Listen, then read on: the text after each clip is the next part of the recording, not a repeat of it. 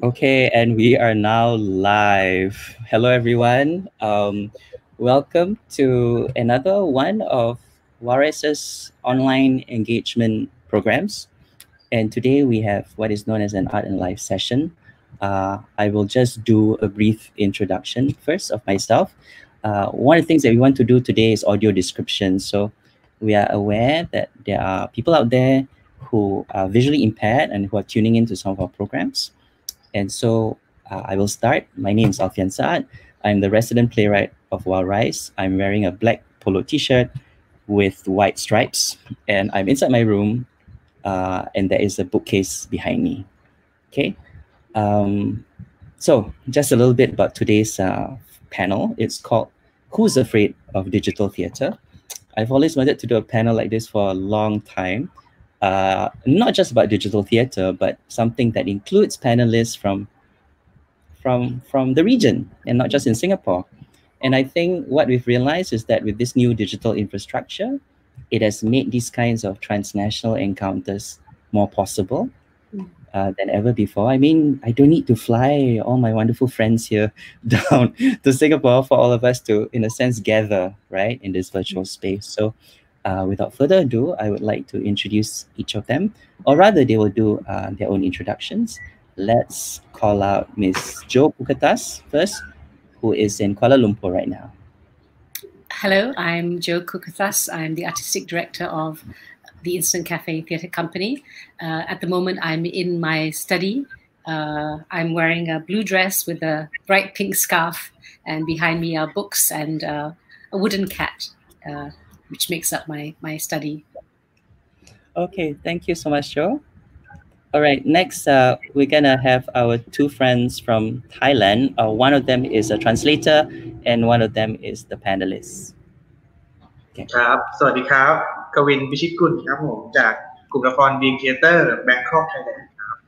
ครับ So uh, he is uh, Kwin and uh, from the Theater Thailand. เป็นหนึ่งใน Project Director Space uh, he's a Project Director of uh, In Own Space. ครับตอนนี้ตอนนี้ใส่เสื้อสีเทาอยู่ในร้านชานม he's wearing a gray T-shirt and we are in a milk tea shop. Okay and uh, and me I'm the translator. My name is Chuan I'm also an artist and I'm wearing a black T-shirt in the same um, milk tea shop. Okay. Thank you so much there. Wow, milk tea shop. That reminds me of the uh, Milk Tea Alliance, yeah? Yeah. yes. Which is an alliance between people from Thailand and Hong Kong and Taiwan, right? Yeah. I feel so upset that we're, we're not part of this alliance. Yeah, huh? Yeah, yeah. we should. we got milk tea also, right? We got yeah, like yeah. teh tarik, right? We should be mm-hmm. included in this. Okay. And uh, and our next panelist is uh, Sim Yan Ying or YY. Hi everyone, I'm Sim Yan Ying. I also go by my initials YY. Um, I am a director, actor, theater creator um, based in New York City the last five years and will be for two more days and I'll be back in Singapore next week. I'm in, uh, I'm wearing a black v-neck top. There is a bed behind me and a door um, and my walls are white. Okay, thank you so much for that, YY. Uh, by the way, we have a commenter uh, I'll just show this. It's Yisheng who says, "Oh my God, hi Chuan." yeah. So and and Yisheng also says milk tea alliance for the win. So I believe like Yisheng and Chuan and and Chen were all collaborating on a show together, right? Yeah, yeah, uh, yeah. We worked together before. Yeah. Wonderful. Yes. So old friends meet again. Okay. Uh, so today I think maybe we can start off by talking about some of the works that some of you have created. Uh, of the online works that you created, right? And and I think just to start off, just to answer that question, who's afraid of digital theater, which is our title for today, uh, I'm afraid of digital theater. okay, okay. It, I mean, there, there, there are two streams to that, right? Which is one is I actually feel the level of risk in doing digital theater, for me, the analogy is like doing work in a theater where there might be a blackout anytime, or where the electricity might get cut off, or where suddenly the actor suddenly freeze, right? so, so for me, those are the kinds of, of course, live performance is always risky, mm. but it just seems to be that the digital infrastructure also introduces other other elements of resistance. So that's one, right? So the other fear is, of course, that maybe this will supersede or this will take over uh, or, or reshape live performance as we know it. Mm. So we know, for example, when music went digital, it led to quite profound and structural changes in the industry, right? So not just piracy, but also in the in the disaggregation of the album format, for example. So people nowadays like they buy singles, they listen to singles on Spotify and not necessarily an album and listen to music in the order that an artist might have selected. It has also resulted to changes in things like um, cover art as well. So what, what does it mean for theater to go digital? Okay, so I, I, I hope that these are some of the questions that we will we will uh, put on the table and that we will discuss today. Okay, all right. So, uh, but to start off with, why don't we introduce the audience to some of your works? Yeah. So let's pull up the slide today. Okay, this is our first slide. Uh, it's got the words "Who's Afraid of Digital Theater" against a blue background, and there's some digital numbers as well there. Okay, let's look at the first slide. Okay, so this is uh, my work. On this slide, you will see an image of a couple who are sitting on a sofa. They are both wearing virtual reality headsets and they are holding on to champagne glasses. Both of them are dressed quite formally. The man on the left side is dressed in something like a tuxedo. The woman on the right side is dressed in a black evening gown. So it looks like they're going out for night at a theater, but actually they're just in their sofa at home. Yeah, and the text on this slide says, A Cough in the Theater, March 2020, playwright Alfian director Frida Röhl, for Folk Folkteatern. So Folk Folkteatern is actually a Swedish theater company. Um, and Frida Röhl is actually one of my good friends. So when the pandemic first hit Sweden, one of the things that the other company did was to um, contact some of their international friends and ask them to submit a short piece for a program which is called Urgent Drama. And I happened to be one of those people who was asked. Um, so this is uh, it's available on YouTube. You can you can go and look for it. Uh, it's called Urgent Drama. Uh, this piece is actually a pessimistic one because it envisions a future where people don't really physically go to the theater anymore. They stay at home and then just put on their, their headsets, and then that's the theater experience for them. Yeah, uh, and so yeah, this is something that uh, we can we can discuss more hopefully yeah but this this for me is the only thing that i produced for this whole pandemic uh, because for wild rice we've got quite a lot of archival recordings of our past works so those are the things that we've been uploading online and sharing with our audiences okay all right next slide please okay this is a work from instant cafe theater by jo why don't you help us describe it and talk about it so this is a, a, production of a play called Para, written by Alfian Sa'at. Uh, we called it Zoom Para because we decided to do the entire play uh, using Zoom as our format. E even though people then went to a a virtual theater called Cloud Theater and watched it on their website. Um, and you know they tried to replicate the act of going to the theater as much as they could uh, in in that. I, will talk about that later. For now, I'll just describe this particular uh, still. So this is a still from the production. A lot of the play takes place in the library of one of the characters. So here there are four boxes, four Zoom boxes, and each character is in their own homes. Uh, but uh, we try to uh, to set design their homes so they looked as if they could possibly be in the same library. So try to make put books um, in each room so that you have this idea of a library. Try to keep the colors in the same kind of tones. Uh, so and each and each actor is wearing quite a brightly colored T-shirt, so they pop out from the screens as well. So in this way, try to um, set design uh, the image. And so here you you see that image of, of four actors um, in separate spaces, but trying to, in some way, make us believe or suspend reality to believe they are in the same space. Right. Okay. Thank you for that, Jo. Thank you. Is there anything else you want to describe about this?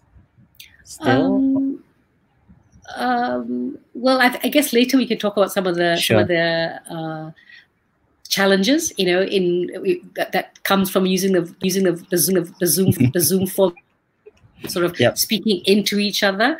And it was Mm. a lot of work to kind of get the actors to know where the other actor is. Because, of course, on Zoom, Mm. the Zoom box does not show the actor where the other actor is in relationship to them. So we had to, they had to just Right. learn, okay, at this Right. point, I have to face this way in this box. Right. We weren't Right. always successful, but Yep. uh, it was, that was quite a challenge, um, challenging aspect of the, of the performance for the actors Okay. at least. Great, thanks, Jo. Okay, so this Zoom Para, uh, done by Instant Cafe Theatre from Malaysia. Okay, next slide, please. Okay, this is a work created by YY uh, as well as Alvin Tan, and of course other people. So maybe YY, I can invite you to talk a little bit about this work. Sure, thanks, Alfian. Uh, I think I'll start by just describing what's on this slide. So we have two images here. Um, both are production stills from uh, the production. They are both in Zoom uh, spaces. The first picture has six boxes. Um, in the first box, a man is holding a book. Uh, so you want to talk about race. In the second box, um, a woman is uh, washed in pink light. She's doing a movement gesture um, with her arm outstretched. Um, in the third box, uh, monochromatic colors, a man is doing the same gesture as the woman, arm outstretched as well. Fourth box, um, a man has a ring light behind him with his arm outstretched. The fifth box, a woman is holding on a book. I think it is called uh, How to Be an Anti-Racist. Yes, by Ibram X. Kendi. And in the sixth box, a woman is washed in uh, green light, uh, doing a physical gesture with her arm outstretched. And then in the second image, there are eight boxes here. It looks like a club of sorts. Um, in the first box, there's a man in a hoodie. Um, second box, uh, a man is kind of in a delirious state, wearing a blonde wig. The third one, um, a face is up close to the camera, washed in pink light. Um, the fourth one, uh, a woman is in a white top, just enjoying herself, having the time of her life. In the fifth box, um, there is a close up of a face, my face, uh, washed in a Snapchat filter of color inversion of sorts. In the sixth box, there um, it's just like pattern paint splatters. And then in the seventh box, there is a uh, visual uh, that says the transit lounge in different permutations. And in the eighth box, there is a white mask just floating in a black vacuum space. Um, so this is uh, Who's There, which is an international virtual collaboration with artists based in Singapore, Malaysia, and the US. Um, Right. We developed it in June. Uh, we started developing it in early June and July, and then had a production as part of New Ohio Theater's Ice Factory Festival 2020. Um, Mm. New Ohio Theater is a downtown theater company in New York City, and Ice Factory is their annual summer festival of new works. It's in, in their 27th year now. It's the first time they're doing like a virtual version of it. Mm, Uh, so this show explores uh, racial controversies in the three countries um, Mhm. and really responds to the recent events of 2020 because so much has happened in 2020, like Black Lives Matter, like um, the general elections in Singapore. And mm, um, we're also looking at like identity conflicts within individuals um, stemming from race as well as Sure. tensions between individuals, really trying to see what we can learn if we talk about racial mhm, mhm. um, through the Mm. lens of someone else from a different country? Does it offer us fresh insights and what do we learn from this? Right. Um, and this show combines the elements like realism scenes, just like naturalistic, we're in our bedrooms talking to each other, um, Mhm. movement sequences, um, Okay. multimedia by our incredible designer Javon Chandra. Yeah. As well as interview excerpts and Right. also magic realism. And it's a team of 14 people working on it. Um, and I Wow. co-directed it with Alvin Tan, um, who is the artistic director of The Necessary Stage. Wow. Okay. So first of all, Yan Ying, congratulations for describing the very visually complex image. I'm so sorry. I, I pulled out this okay. image. I mean, there were there were there were easier images, but but I'm know sorry. I, I could go, but no, um, no, no, but it's good. Uh, the detail is is is is good. Yeah. Yeah. Uh, okay. So thank you for introducing uh, that work. Um, let's move on, and then later we can come back. Yeah, to to more discussion on this. Okay. Uh, so this, I will just describe this.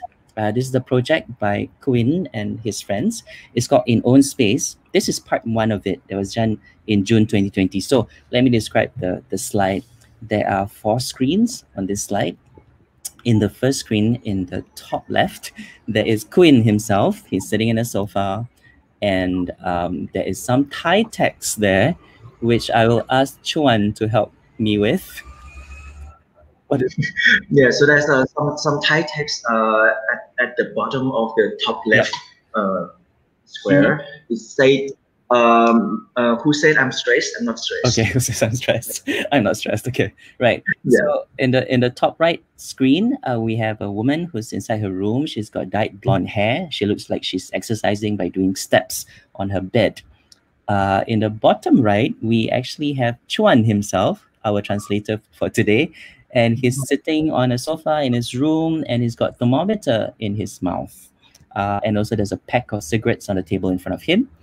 Okay and in the bottom left image we have a woman who's on a on a turquoise kind of sofa or teal. Uh, and she's sitting down with one leg of the over the over the other. And she's got what looks like a plant or leaves on her head. Okay. Um, would you like to tell us a little bit about this project kwin โอเคโปรเจกต์อีโอสเปซเกิดขึ้นตอนที่แบงคอกล็อกดาวน์เพราะว่าโควิด -19 So in on space actually happened when uh, we got the lockdown in Bangkok uh, for yeah. COVID. ทำให้ศิลปินขาดคอนเนคชันกันเองแล้วก็ขาดคอนเนคชันระหว่างผู้ชม So the artist was disconnected from each other and also we got disconnected from the audience. Right. ไดเรคเตอร์อีก โปรเจกต์ดีเรคเตอร์อีกคนหนึ่งก็เลยโพสเฟซบุ๊กขึ้นขึ้นมาว่าเราจะทำไงดีกับสถานการณ์นี้ so there's another project director ฝนพลัม so she posts on her Facebook what should we do about this situation แล้วก็มีอาร์ติสต์หลายหลายคนโยนไอเดียมามากมาย and there are many uh, many opinions many suggestions from many artists กับพี่ฝนพลัมก็เลยตัดสินใจทำโปรเจกต์นี้ขึ้นมาโดยการให้ศิลปิน 15 คนทำการแสดงโซโล่ต่อกัน So Kwin uh, and Fon Plum start this project by contact, uh, contacting 15 artists to do right. a solo performance and connect each piece together. ซึ่งซึ่งจะต้องรับ message กับ inspiration จากคนก่อนหน้ามาทำการแสดงห้ามคิดการแสดงก่อน so it's kind of um, every artist need to receive or inspired by some message of the video before them. They cannot think ah. beforehand they need to wait until the day. Right. คนละสองนาที Everyone has two minutes for their own uh, video. Right. แล้วแล้วในวันสุดท้ายหลังครบสิบสิบสิบห้าคนเราก็เอาการแสดงการสิบห้ามาเรียงต่อกันเป็นวิดีโอยาว And the last day, so it, it happened each day daily for 15 mm-hmm. days. And at the at the last day, uh, yeah. he combined all the videos together into one piece, and we can right. look from the first until the last. Oh, wonderful. Okay. So uh, my question is, did you have to create a video in only one day? Oh, yes. ใน In Own Space หนึ่งมีเวลาทำแค่คนละวัน Yes, in, in, in Own Space version 1, uh, yeah. everyone has only one day or less than one day actually. I see. oh, wow. He did, he needs to post it. So yeah. we, we saw something at like 9 p.m., 8 p.m., maybe 9 p.m. And then two minutes after that, we need to figure out what to do next and send it back to him before 6 p.m. another day. Okay, wow. So that's the kind of uh, restriction that that you give to the artist. Okay, my next question is like in terms of the, the message that you send to the next artist, is it a message that's inside the work itself, or did you like pass on the message by writing or something like that? Hmm. เป็นสิ่งที่เกิดขึ้นในเวิร์กครับ so it's a it, it's in the work yeah so, so you work like something to another person the next person watch what happened and they and then get inspired and create I see. Okay, okay, great. Thank you. Okay, so um, next slide, please. And uh, I skipped one one phase of the evolution of this work. So we uh, straight away to in own space part three. But I just want to say that there was in own space part two, where the project was done by students from various universities, right? Yeah. Okay. So let me just describe this slide, uh, which is in Own Space Part 3 in August 2020. It has nine artists from Thailand, Japan, and South Korea. So on the slide, we have also four screens. Uh, in the top left one, I believe it's a Korean artist who's teaching some choreography to her father. The Korean artist, she is wearing like a, I'm so bad with colors, you know, I swear, pale yellow, pale yellow blouse. And her father is wearing like a green, uh, leaf green t-shirt. And she's showing some handwork uh, for her father to, to copy, I believe.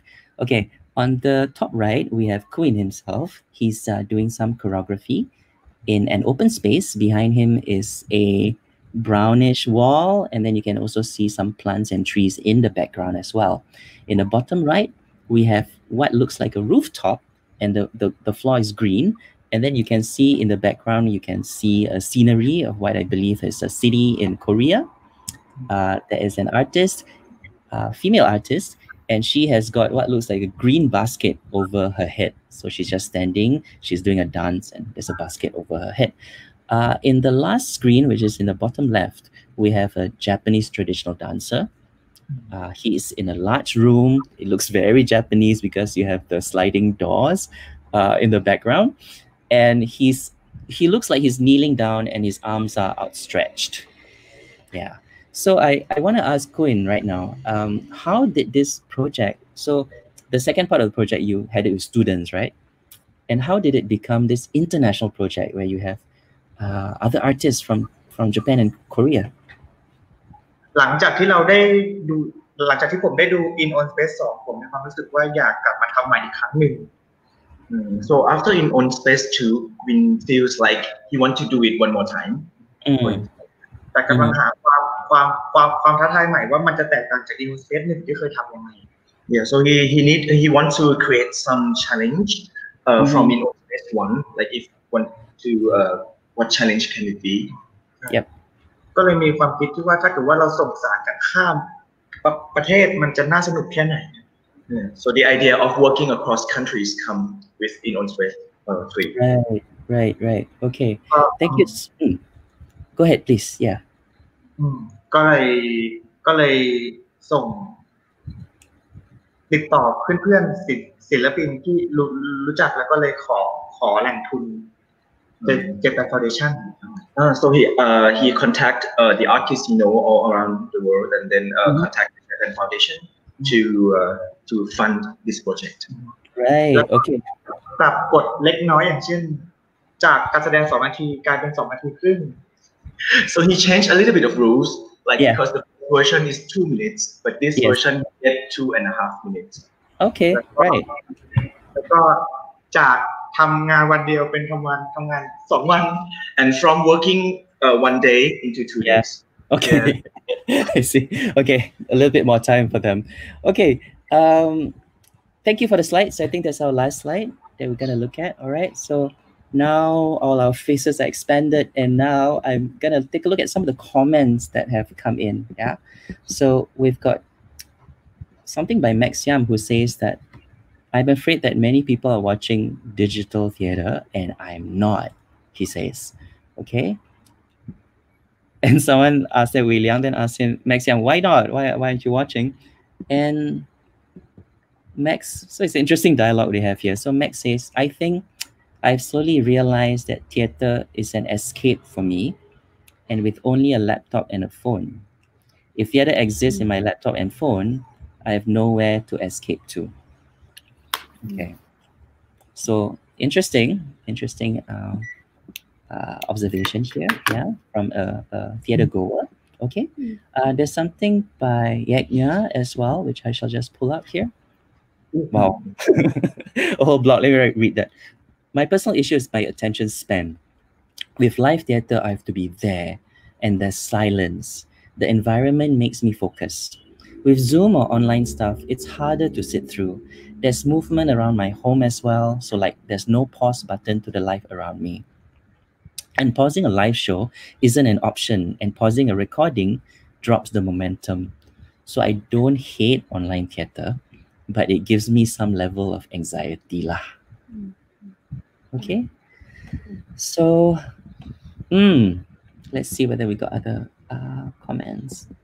so Max has replied to what Yang said just now. He said, uh, yeah, I FOMO. FOMO means uh, fear of missing out because he's asked, you know, people are asking Max, right? Why, why aren't you catching digital theater? It seems like, you know, there is a growing audience for that. So he says, uh, he FOMO that many people are watching and making digital theater, but he says he's not gotten mm. used to it. Okay. Mm. Um, okay, before we go and address some of those uh, concerns by audiences, why don't we ask each of you about your own experience with working in this medium? Yeah. Um, how has it been? Why did you decide in the first place to do digital? Okay, I, I think some has been kind of answered a little bit because Kwin talks about like the pandemic and how artists were disconnected, right, from each other in audience. But what about you, Jo? Um, I think it was to try. It's because I wanted to use the medium actually. Mm. Uh, mm-hmm because I knew that I knew that theaters uh, were not going to open in a way that would make it affordable for theater makers to to use it. Uh, right. With the SOPs, you can only have a thirty percent capacity, and mm-hmm. you know, mm-hmm. as a as a independent theater company, we need hundred percent capacity in order to to right. pay our bills yeah. in the theater. Mm-hmm. So um, I began to think, well, how do we still connect to our audiences. So for me, right. it really was about the audience, not about, uh, um, or rather, not just about the art. Mm-hmm, so, because mm-hmm. so, so I began to. I mean, you know, of course, the, the, pandemic gave us an opportunity to think very deeply, ask a lot of mm-hmm. questions about what do mm. we what what do we do and why do we do it? So I began to think a lot about well, what is this thing called theater? And what, what is mm-hmm. the act of making theater? And the mm. act of making theatre to me was always about trying to connect to the society that I that I live in. Or and that society could be local, that society can be global. There's a big diaspora of Malaysians as well. But right. also there's also a global society of people who want to hear stories mm. uh, and to connect connect through stories. So mm. I, I kind of decided that Para would be a good play to do. One because I felt that some some of the things that it was dealing with were were things that I felt um, were very current. Um, mm-hmm. but two, because I felt that if I'm going to start experimenting with doing live theater, you know, mm-hmm. so it's not it's not filmed beforehand. It's it's it's it's performed live to a, to an audience. It yeah. needed to be a play that I was very familiar with. Right. Right, and right. a play that the actors were very familiar with because mm. I wanted the actors to really inhabit their bodies, right? Mm, so that the, mm. the, the energy of the actor's body was very present even mm. through the screen. I, mm. I, think the problem that we can have, face in making theater of dance or performance for the screen is that we mm. become very presentational. We we are only performing very flatly.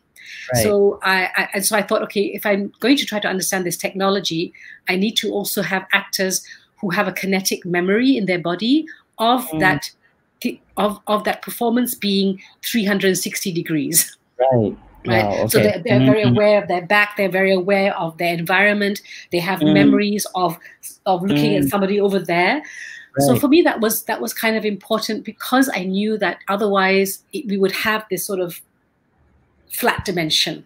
Right. Um, so, so, so for me, this is kind of stage one mm. of this of this mm. beginning of this experiment to work digitally.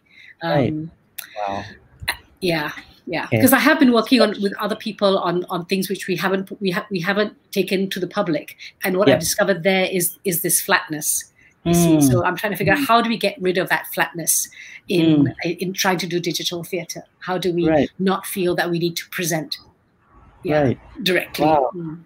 Okay, thank you so much, Jo. I think what's very interesting is that you're talking about a play that originally was written for the stage and then yeah. you're thinking of how to adapt it to like let's say an online or zoom format right and i think yeah. this is a nice segue to yy actually where i think her exploration is what kind of work could exist in that format could be like so is the ontology of like the zoom play itself that you're exploring rather than yeah. wanting to like adapt something which is has been done on stage to that format, right? Wawa, you want, want to share with us about that?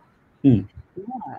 Thanks, Alfian, and and thanks, Jo. Yeah, I think um, contrary to Jo, my entry point was definitely different. Um, for me, I was interested in doing something as far away from like live theater as possible, because I was starting to see um, digital theater as a new art form in itself, like not an extension of live theater, not a replacement, but something that almost straddles the line between like mm. theater and film, new thing altogether. And so mm. I didn't want to be beholden to um, the conventions of live theater. Um, so if you ask me to adapt a play that was written pre-pandemic and stage it now, I'll be like, oh my god, I don't know how to do that at all because we constructed a piece that was completely separate from that. And then, so I think my team was very much also on the same page in terms of that. Um, uh, creating something totally new. And we were looking at the potentials of digital theater and what it affords us that like live theater doesn't have, for example, because people always see like digital theater as a poor cousin of live theater. Oh, we don't have the audience, we can't hear the laughter, we cannot feel the energy and all of that. But in a way, it's like delayed gratification because we get to hear all these responses during the talkback, and and it, it is okay that um because we can still feel energy even if we're performing live without actual audience um responses. And so, in terms of potential of digital theater, I was most excited by the fact that it allows us to collaborate internationally without like massive touring expenses, and the fact that we still spend like three to four hours um, per rehearsal, like four times a week on the space together we developed a very a closeness and a kind of um, relationship with each other even though we never met live and we still shared a lot of like cross-cultural exchanges. So like all the uh positives of international collaboration still came through in this medium without all the um, baggage of like money and finding money. And so that is some and and and for the audience to be able to tune in from different parts of the world at the same time like that was something that was quite special to me and my team. Um and yeah just really going with the um, dual benefits of digital theater which is that it has the lightness of mm-hmm. like theater on the stage as well as the intimacy of film and then how can we both of those mm. and then create something new and something special from that okay great thank you so much YY. um if i can pick up on one of the things that you raised which is this international collaboration and the idea that the barrier for entry for that is so much lower now mm-hmm. right so much cheaper because we don't have to fly in people uh we you know so the and and we can even like rehearse remotely with one another right mm. so i think that those are the kinds of benefits of pros that you mentioned so i want to mm. throw this to kwin as well for in own space part three how do you think doing things digitally during this pandemic has allowed you to make connections with artists from outside of thailand mm. เอ่อถ้าถ้าเกิดว่าถ้าเกิดว่าเป็นในเรื่องของการรับส่งสารก็ไม่ได้ไม่ได้มีความแตกต่างจาก n น Space หนึ่งและสองมาก So in terms of uh, catching the message and create uh, their own things, in on space three is not really uh, different from the second and the first one. แต่แต่การทำงานในแต่ละชิ้นก็คือ ค่อนข้างเหนือความคาดหมายในเพื่อนต่างชาติที่เขาทำออกมาก็ได้ก็ได้ก็ได้ expected result that happens along the along the the project มีมีมีการแสดงอยู่ชิ้นหนึ่งที่ผมคิดเลยว่า ถ้าเกิดผมไม่โตที่นั่นในสเปซตรงนั้น ผมไม่สามารถที่จะทำการแสดงรูปแบบนี้ออกมาได้เลย There was a piece that we think uh, if if he is not born there, raised there in that area, in that space, it's impossible to have these kind of ideas, impossible to, to create things right. like this. Right. Yeah. Mm. Okay. So interesting. So that, that kind of like uh, connection with very, very different cultures. Um, and then somehow like linked, right? So what, what I really liked about, for example, in Own Space Part 3, uh, so if I can just share, there are there's a sequence of let's say three uh, little films or, or, recordings or pieces. So in one of them, a Korean uh, dancer is showing her father choreography teaching him how to dance. And then the next piece is Kwin's own piece, which is like a tribute to his own dad, right? Mm. And it's based on some photographs of his father, and he's created some movements choreography from those shots. And then the next piece, so you can see sort of like the ball being passed from one to another. The next piece apparently is to this traditional Japanese dancer who whose own father has passed away, if I'm not wrong, right? And then he's doing this certain movements from traditional Japanese dance, and yeah, uh, and and I think what's so interesting is that the ball that's been passed, I mean that ball is actually passing through customs and immigration of different countries, right? Yeah, and it's and it's being passed or it's being thrown over wider distances. So I think um, okay. So let me just pull out um, something here by Chloe Lee, yeah, who says that thank you for sharing. She says I too am afraid of digital theater, but on the brighter side, what do you think are the advantages of digital theater that are specific to the medium? Okay, and and I think one of the things that we've definitely raised is this idea that oh, all these international connections seem to be more possible, or at least we are thinking in those directions where we might not have had before. Because we always think of like, ah, yeah, got must must have flight, must have accommodation. You know, immediately we think of all the costs that accumulate when we are when we want to bring in foreign artists. So, do you want to add to some more of that about like what you think are some of the pros, some of the benefits, advantages of, of doing these things digitally?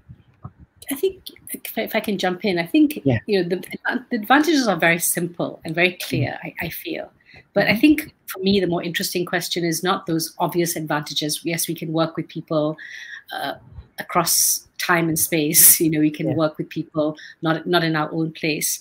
Um, but uh, just going back to that um, that mm. uh, that piece by by Kwin. Actually, I was mm. struck by the same thing. I was struck also by this the the the, the recurring uh, motif of the father or the parent, and I, I, found it very moving, right? Because it was so human and transcending of of uh, culture.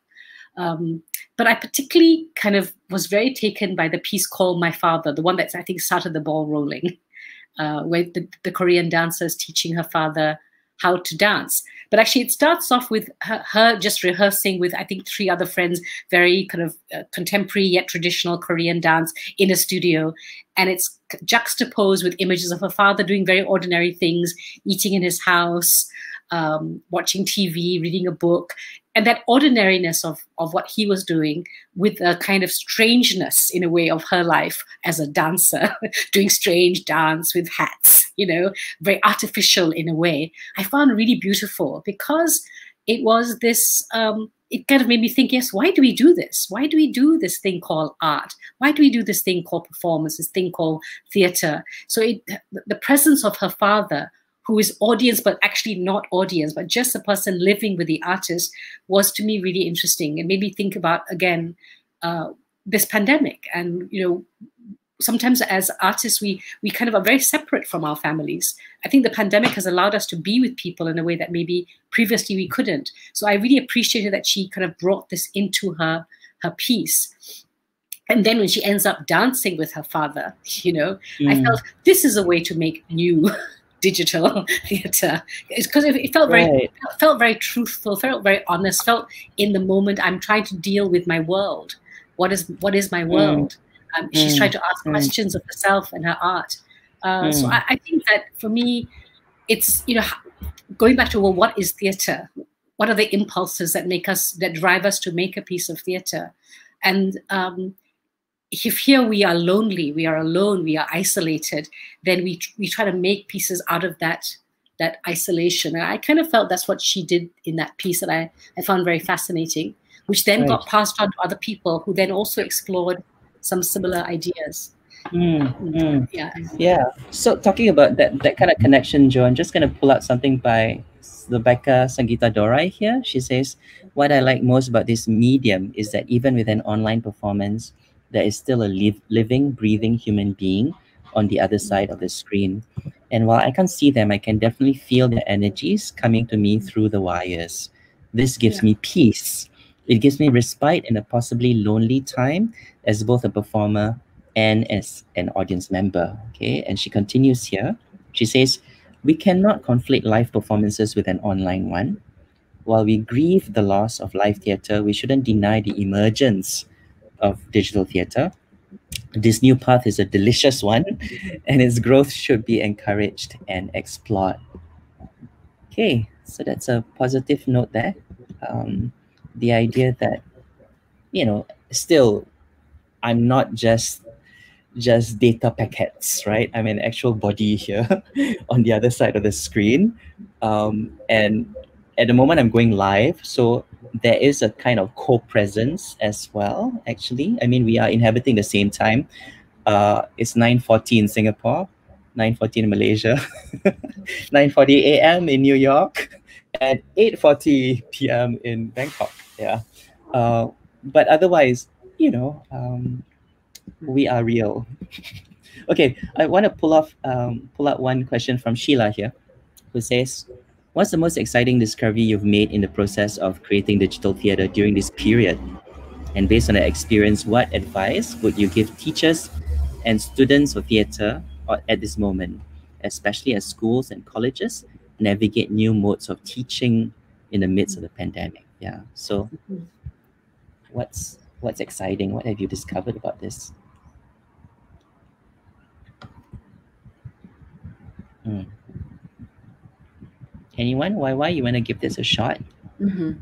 Um, I think tying back to the previous question also of um, what's special about uh, the digital medium um, and uh, benefits to it. I think one thing that hasn't quite been raised yet is that it increases accessibility as well for people who find it harder to get out of their homes, like right. people with disabilities or older folks. It's not as convenient for them to move around. So the fact that we can now serve these people as well um, is something that's quite special to me. And um, main discovery, something I've learned. Um, it's quite a technical one, but um, I was interested, uh, as in I was fascinated to see that like in live theater, right? It's so much mm-hmm. easier to like take in everything at once. The fact that there are mm. people mm. around me, there's music, there's a group of people doing weird abstract movement over there, someone speaking text here, sound. I can take it in as a whole. But mm. on the digital space, it feels like um, the less is more principle really applies here because I've seen some works that are like there's a lot going on, different things, and then couldn't focus on the content. It became like very mm. distracting in a way. So like for my team and I, it was about constantly finding the balance as to what is what makes something like visually orally interesting, but still allows me to focus on the content. So not load it up with all the technical like gimmick mm. in a way, um, but find something that is still cohesive um, mm. and helps you focus on the story. And then to the second question about well, and uh, a new mode Advice. of teaching or learning. Um, I'm not exactly an educator, so I cannot super speak to that. But I think mm. embracing the medium, and for me, it was like new work creation, like just moving away from what we know of theater in the past, and well, taking some sensibilities from there, taking some stuff from film and like mm-hmm. cinematographic stuff, like camera angles, um, and yeah. like taking elements and then melding it into something new and embracing the medium medium there. And what my team and I did too was that um, before going straight into creation of the work, we had yeah. a few rehearsals that were more like exploratory based. So there was one like a two hour session where my sound designer and I just led like a movement and sound exploration. So things like um, 10 minutes to play with space. How far back can you go? How near mm. can you come, um, left and right? Then after that, take your laptop, move it to different parts of the room. That's why there was a scene in Who's There where the camera was like in my closet. Um, mm. And it was. Sorry.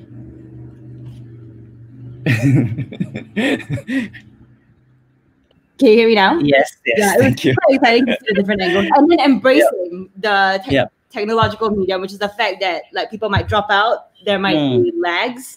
You mm. cannot sync things perfectly. It's hard to yeah. speak like um, in synchronicity, um, and then make something from those apparent flaws too. Right. Yeah.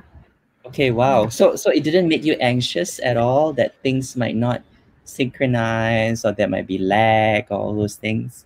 I think because we realized it was inevitable, there was no way the movements could sync. And for right. me, that was a very important part of um, my life creation. But I was like, it took me a while, but then eventually it's like, you know, instead of everyone having to hit this on like Mm. a count of four, let's just do like a slow version. like so, so something as simple as that, you know, just embracing the fact that it's not Right. And then we also prepped um like what happens if there's a technical difficulty, like if an actor falls out, having a backup plan for that. That is also creative and Mm. interesting and exciting. So Mm. yeah, there was some level of anxiety, but can be creative around it too. Right. That's exciting. Yeah. Right, right. Okay, very interesting. Uh, yep, I Jo. think I'd, I'd say some similar things to to YY. Mm. Yeah, of course, I think one of the one of the things was that we could reach the play to people who would ordinarily not be able to go to the theater, and we Mhm. made our tickets really cheap. I mean, our cheapest ticket was five ringgit, and we Mm. did that kind of deliberately so that. Um, People who don't usually even go to the theater would get a chance to watch it. So we have people Mm. who've never seen theater before experience theater for the first time using uh, using Zoom. And, so for me that was that was great. I mean that it could reach to i mean i have friends in sabah who always say how come you never come to sabah? And now like okay we're going to sabah. We're Yeah. going to penang. We're going to I, actually we i think we reached like 20 countries uh, in, in that, that, that was that was really good um, Hmm. but I think it's also this. What's challenging is all the things that YY also talks about. The challenge of um, of, of the technology, and of course, it's it's always good. I mean, as an artist, we always like these challenges, right? We want to find new ways of doing things, and um, when we when we first started doing it on Zoom, we we thought, okay, this is this looks quite good, and then we decided, no, no, we don't. It's not good enough, so we we added microphones. Then after a while, oh well, the sound could, is now better, but we don't like the we don't like the picture, so we uh, we Mm. added cams, and uh, then we we we're trying to figure out how to add music to it. And when we Mm. tried to use music just through our ordinary computers, it didn't work very well. So then we ended up using a gaming laptop which has two screens, and so then. at The end, we had three three laptops going on in the office. The first laptop was used by the producer and stage manager to bring the actors in. The second Mm. laptop was used by me to to switch what the audience sees. The third Yeah. laptop, which had two screens, was used by the streamer to to put it out there. She could also colorize it. She could in, make the color better because, of Mm. course, depending on where you were, the connectivity was different.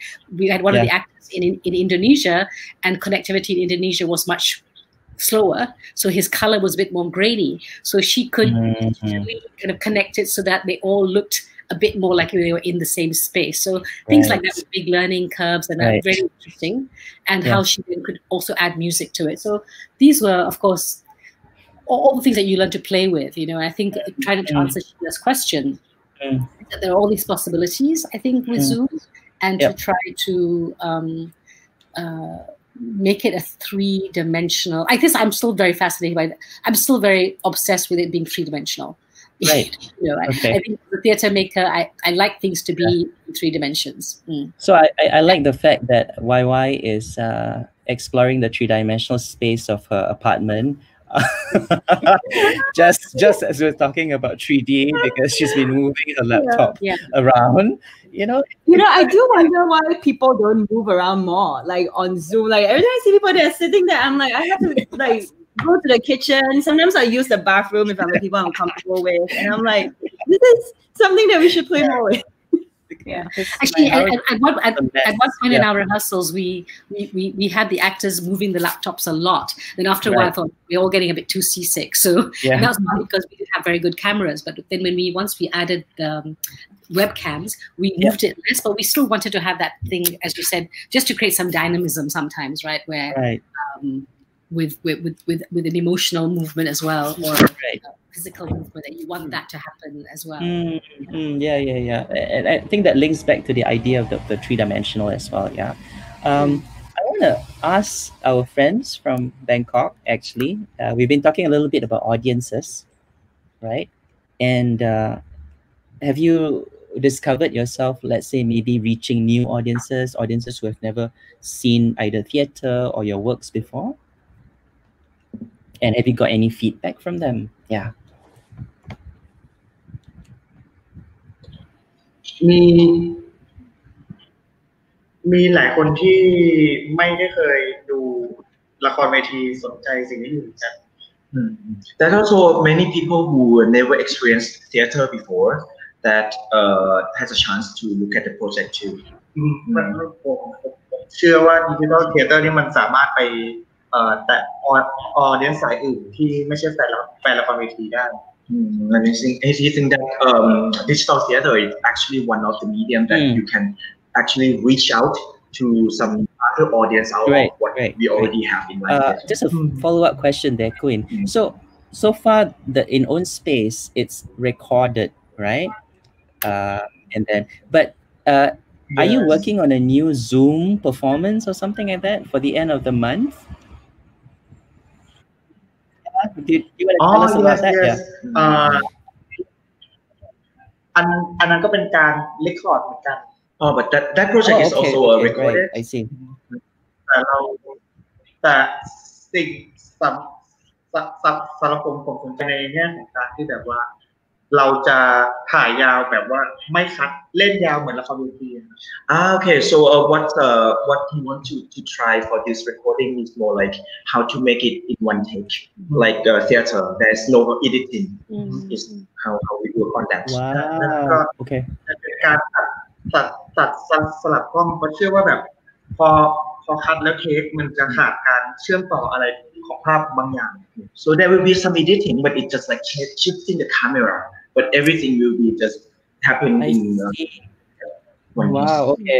That's so interesting. I mean, that's one way to kind of like capture the real time sensation of, of being in the theater, right? Um, Yeah.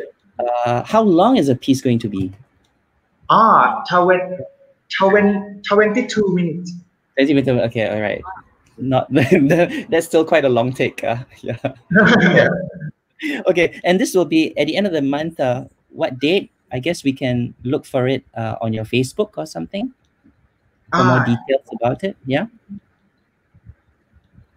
Uh, current, current 29 August, okay.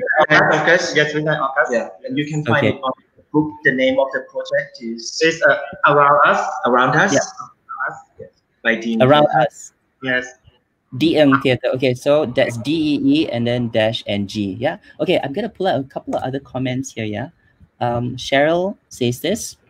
I think what's exciting for me is the combination of technology with theater elements and exploring things that we would otherwise not explore with live theater. I don't see it as a replacement, but as an emerging subset of it, and that's really amazing. Okay.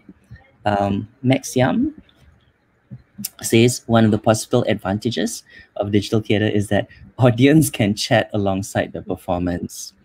So he's saying this is a parallel space or a performance that takes place. And then he asks, is this an advantage?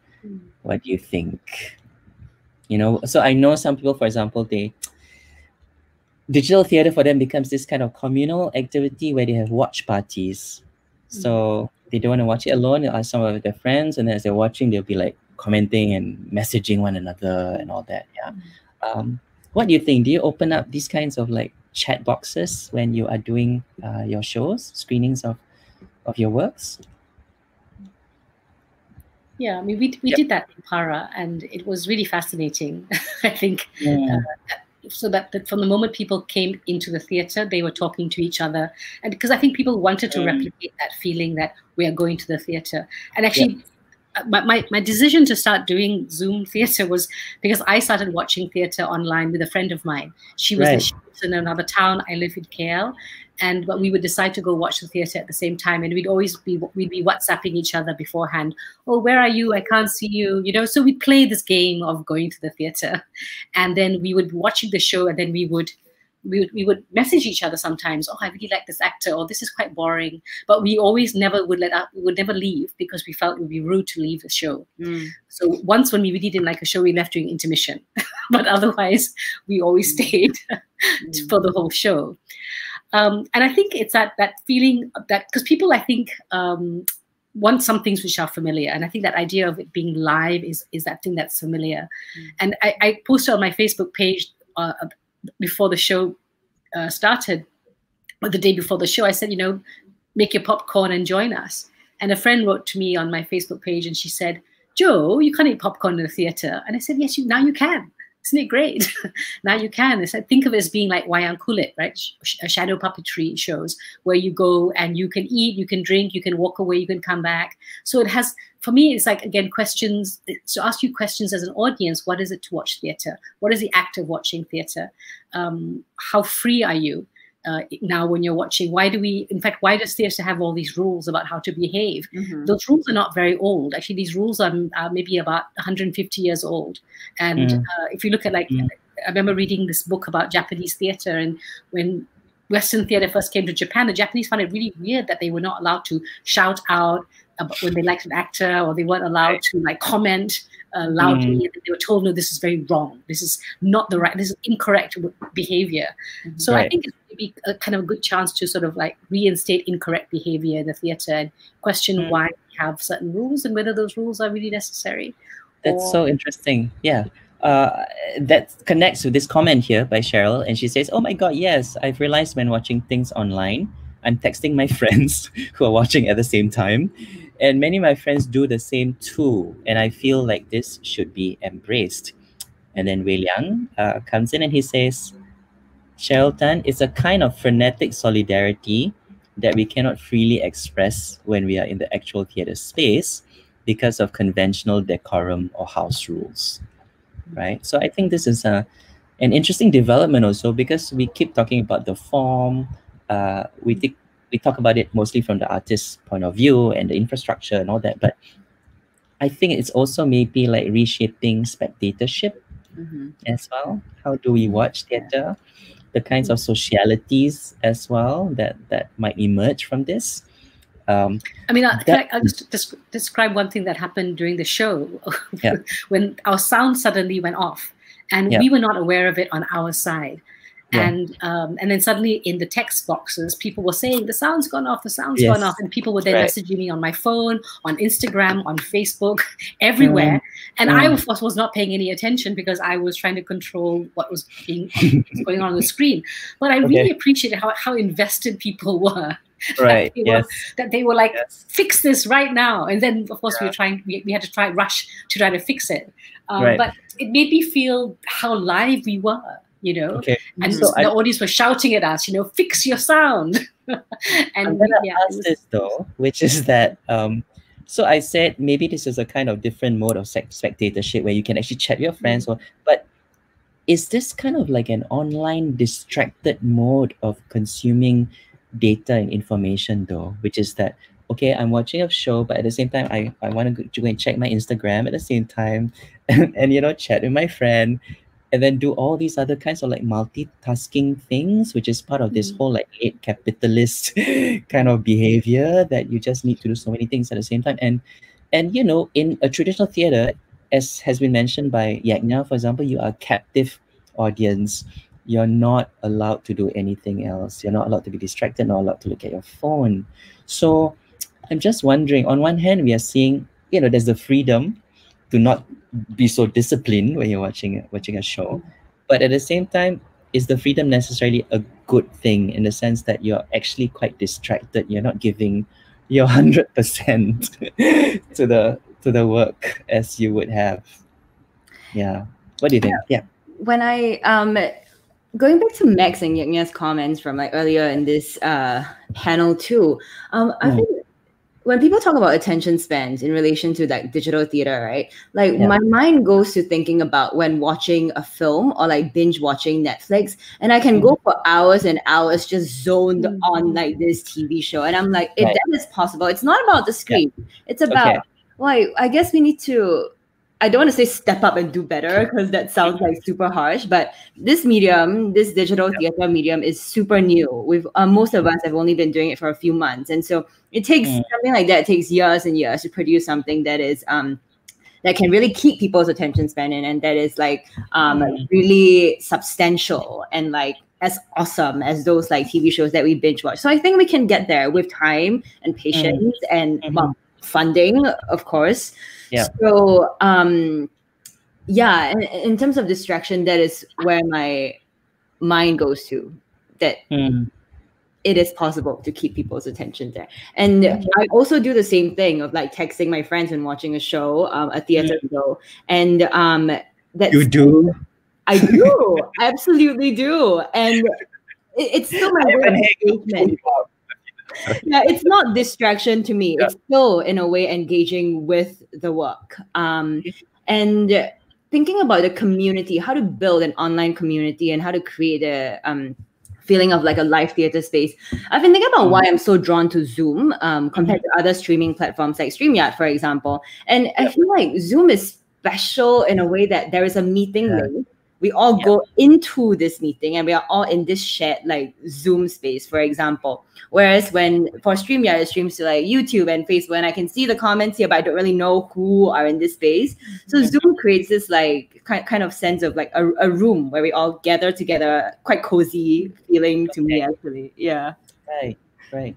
Yeah. Okay. Yeah, I mean, I, yes. I appreciated that when we we use Zoom as, as our platform, but we we we uh, then streamed it on uh, in a theater space called Cloud Theater, and I really appreciated that they tried to make it like a theater experience, experience um, right. mm. so that you could you know you go in you wait in the lobby then you go inside the theater and you you can see your friends you can wave you can chat you can talk mm. to them uh, people mm. were discussing traffic things yeah. like this but i also really like that people could have the live live chat on the side because especially i think i mean maybe younger audiences are very good at multitasking but without it being a distraction and I don't know if this is a modern thing, actually. Um, for mm. me, traditional theatre has always been a place where you don't have um, uh, you, you, you don't have so many rules. So if you go to watch okay. Wayang Kulit, and I love the, the, experience of going to watch Wayang Kulit or Menora or something in a in a in a village, because mm. you you can focus completely on what's going on,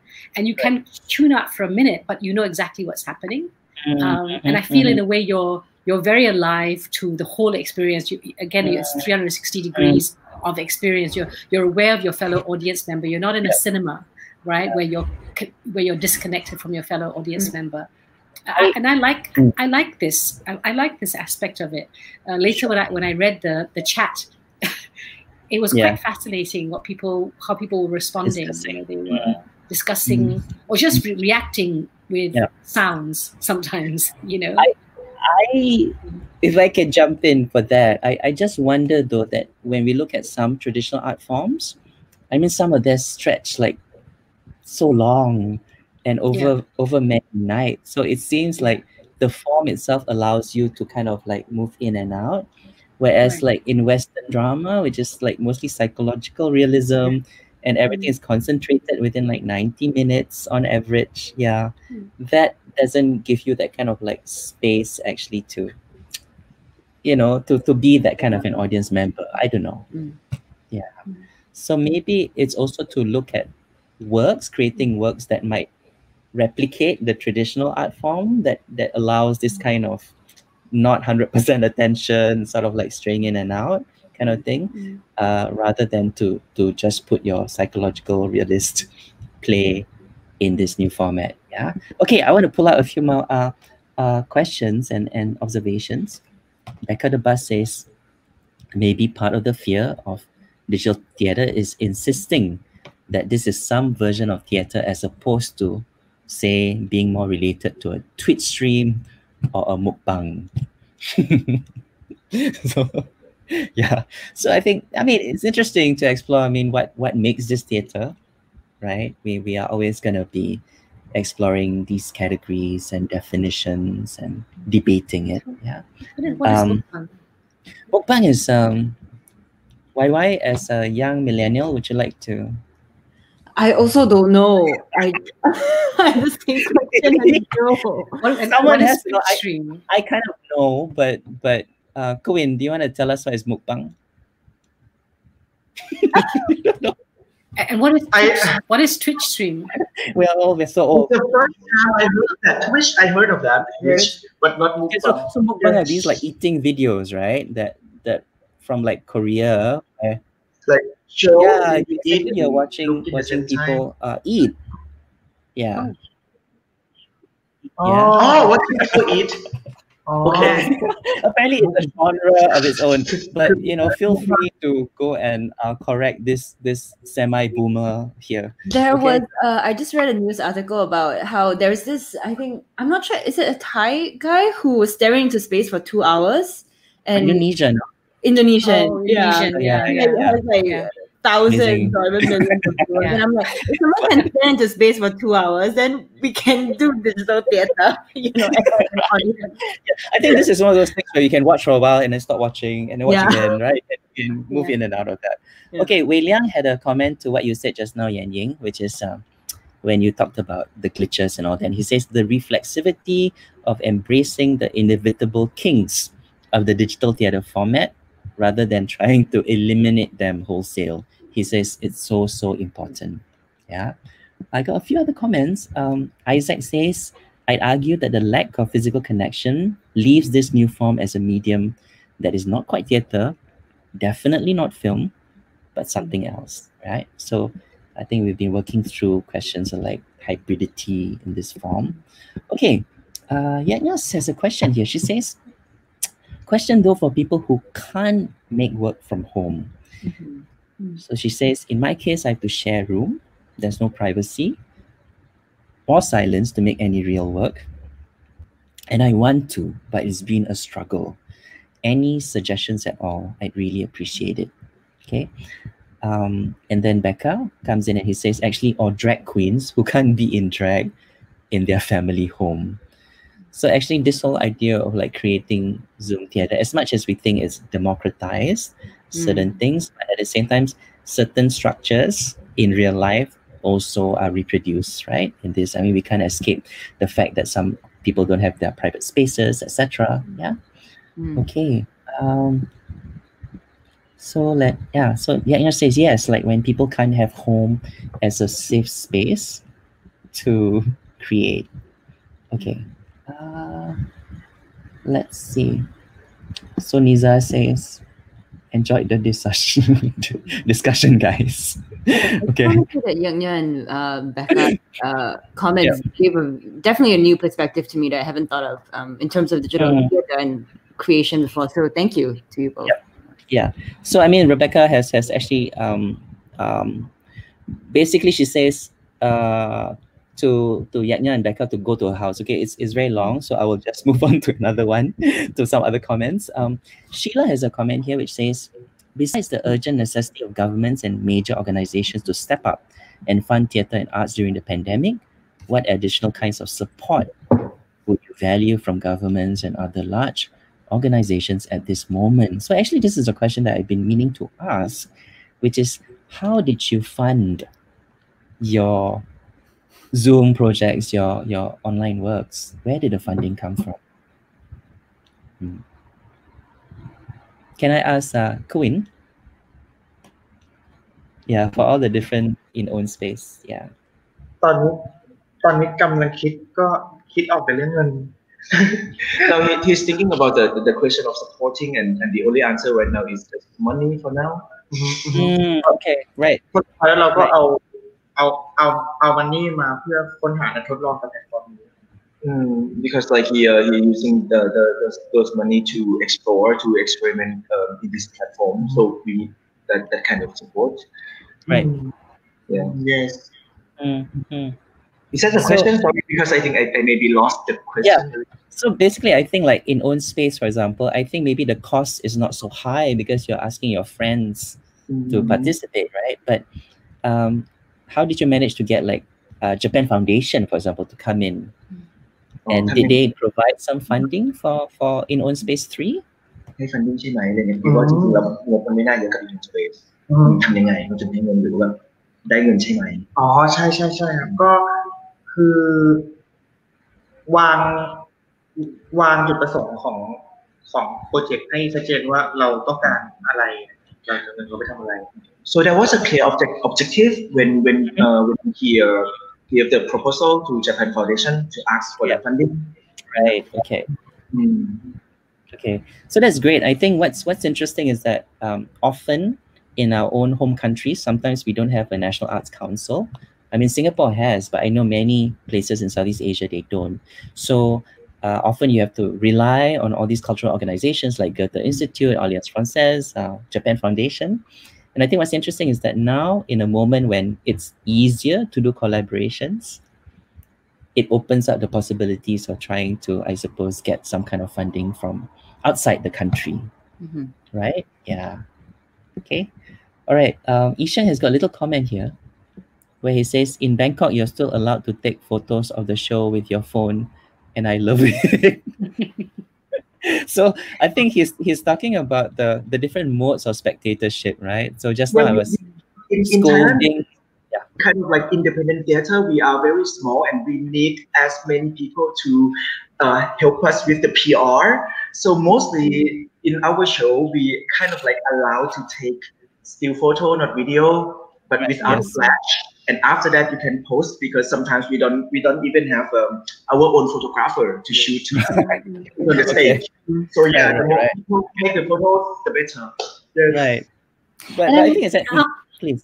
Can, can I answer Sheila's question ab- about uh, funding? How how uh, Um, governments and organizations, right, can come in. Yeah. uh, or, or rather, like with for myself, uh, the Mm. decision to do Zoom Parah was because I thought here would be a medium that would be very affordable. Uh, Right, So, um, because of course, if you usually if we're doing something in a theater, in the past when I've thought about well, how can we film a production and put it online, it becomes very expensive. I mean, we don't have the resources in Malaysia to hire um, and you know expensive camera equipment and people.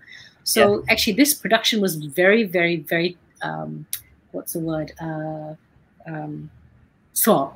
okay, small. Mm, Uh, Mhm. it, and it, in fact, I think we didn't realize how much, how how big a project it was until we were already halfway through it.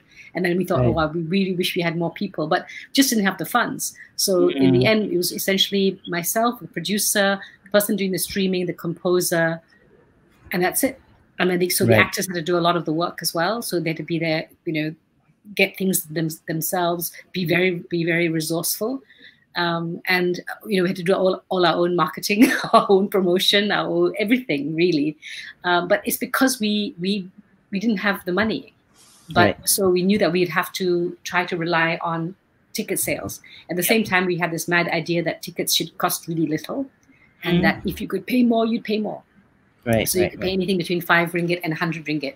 So Mm. rather than applying to a grant from a government source, which you know would take a very long time, basically you were telling audiences, look, if you can afford it, pay 100 ringgit, and then Right. somebody else will pay five ringgit. So Mhm. that's one way, I think, Mm. um, to kind of put Mm. it back to your your community in that way. Right. Yeah, I would Right, love to jump in here as well and say that the pay what you can model is something that I'm very interested in for digital theater as well Mhm. because um, we don't want like artists who are already struggling financially during this time to pay like a twenty dollar ticket, but then at the same time we have friends who work like stable full time jobs who want to give more, and that allows them the opportunity as well.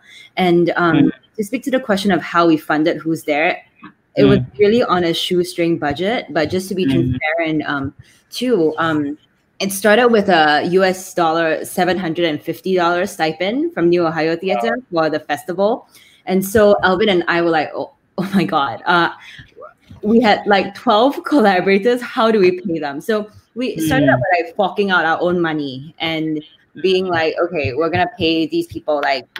Um, not a lot each, honestly. Um, well, we had a town hall where we showed um, our budget, so I'll just say like it was like two hundred each, and then New Ohio Theater said that there would be like a box office split. They would take like the first thousand five hundred, and then they will um, the rest will be like a 50-50 split. So seven hundred and fifty stipend, and then about two thousand dollar of box office split, and then we also the Transit Ensemble also set up like a donation kind of system for audience to feel compelled to after the show give to us. We made about almost mm-hmm. a thousand dollars from that.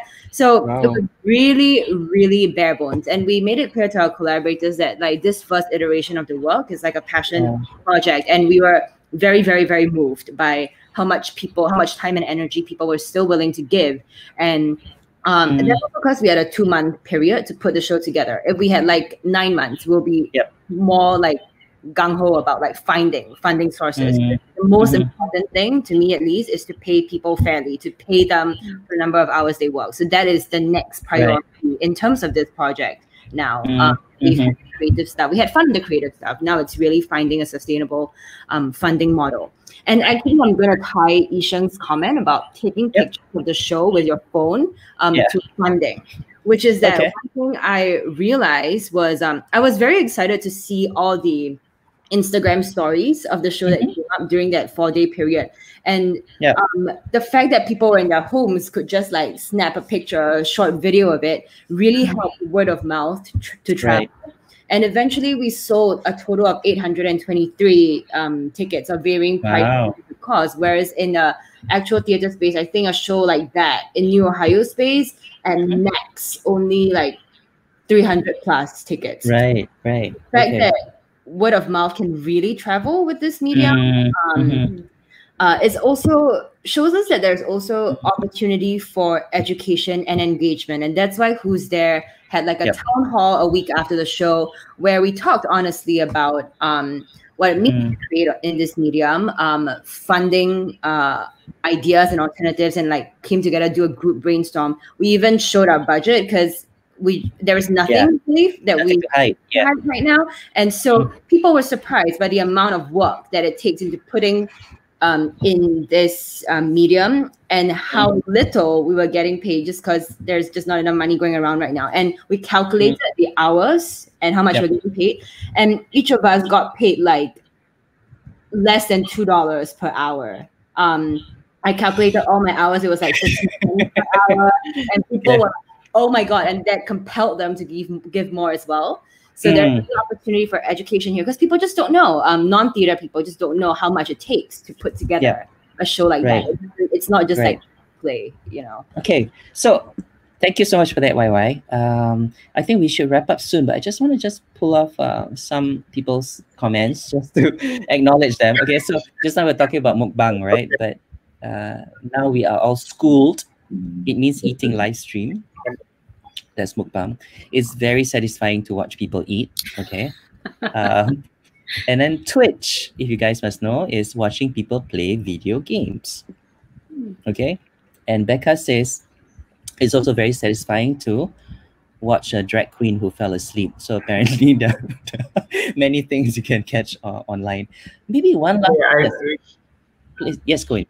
Which, Chair อยากจะแชร์ถึงแบบว่าอินโนสเปนหนึ่งกับหน่วยวิทยาศาสตร์ที่ผ่านมา So he want to share a little bit about in on space one and, and the three. Yeah. จริงๆในสถานการณ์อย่างนี้สิ่งที่เห็นได้ชัดคือการทำงานภายใต้คอนดิชัน So actually, like uh, in, in this kind of pandemic, Yep. uh, one one thing is very very strong is working under conditions, new conditions. อย่างเช่นอินโนสเปนก็คือว่าไม่ไม่มีใครได้ได้ได้เงินเลย In on space one, no one get paid. อืม Okay, That- right. อย่างหนึ่งคอมเมนต์ที่แชร์มาว่าเขาไม่มี pri- pri- pri- private space แล้วมี เพื่อนมันมาอย่างเงี้ยมันสามารถเป็นไปได้ไหมที่จะเอาอันนั้นเป็น condition ใน performance ของเขา So uh, what what what we had from the comments that if what what will happen if we don't have a private space to make uh, performance or to create is that Right. it can be counted as a condition to work on that อืม because we also have many conditions. อืมอย่างอย่างอย่างเช่นใน in in in in space สามศิลปินทุกคนได้เงินเท่ากันแต่ใช้ไม่เหมือนกันเลย Like even in own space three, every artist has the same budget, but everyone right. works in their own condition and makes different things. But mm. yeah, oh, I'll, pay out the more. He spent the money to rent the smoke machine. I see. Some spend money to uh, hire a musician. I see. Okay, right. right in terms of creation. Yes. Yeah. Okay, interesting. Okay, um, actually, there's one last question which I think is really interesting, and let me just pull it out. And maybe that that would be like our last question for today. I mean, it's great that we're getting such an engaged audience that's uh, not only schooling us but also asking really interesting questions. Um, this is good. Uh, Pei Fang asks, has this new medium of theater altered your relationship with the government or the authorities? Are there any restrictions that you anticipate in the future?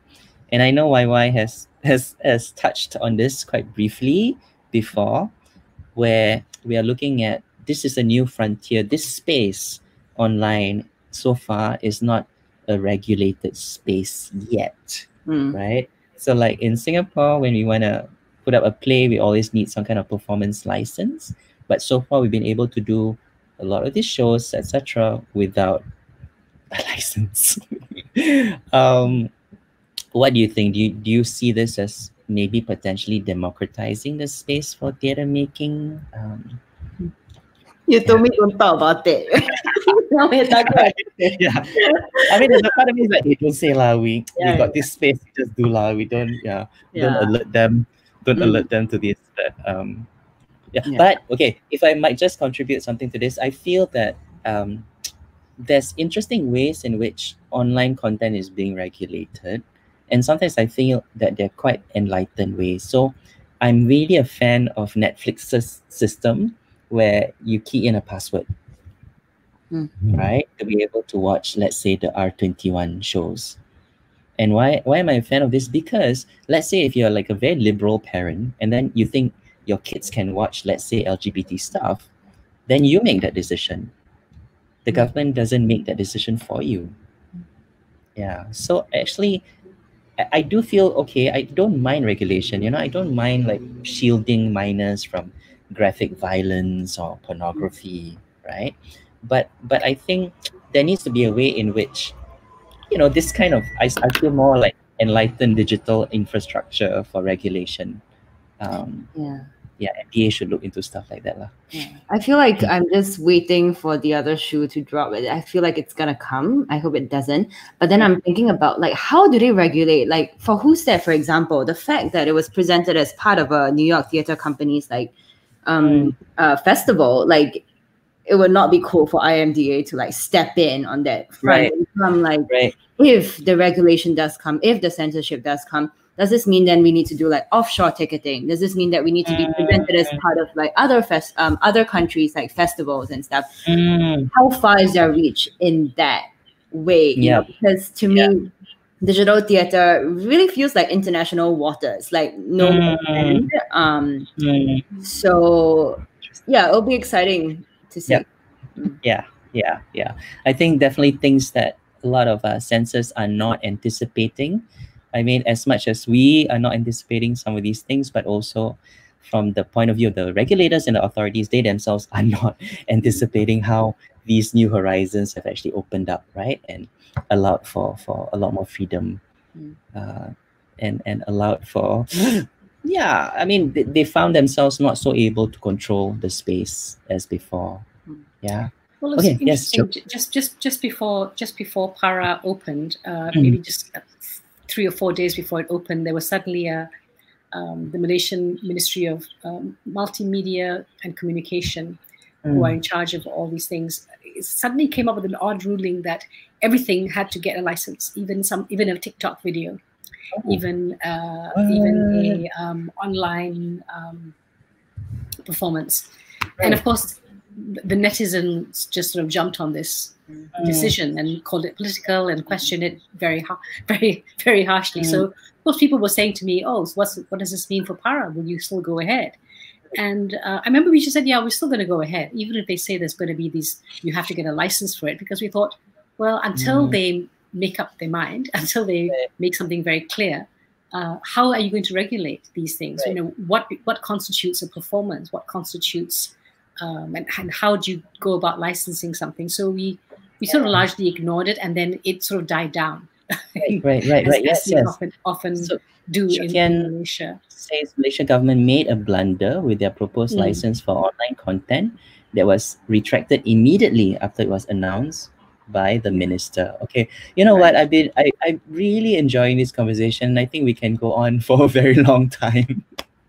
but I should wrap up soon. Um, and so I will just throw one final question, really, really final, uh, to each of you, which is after this pandemic, assuming that there is an after, do you think we will still be making digital theater?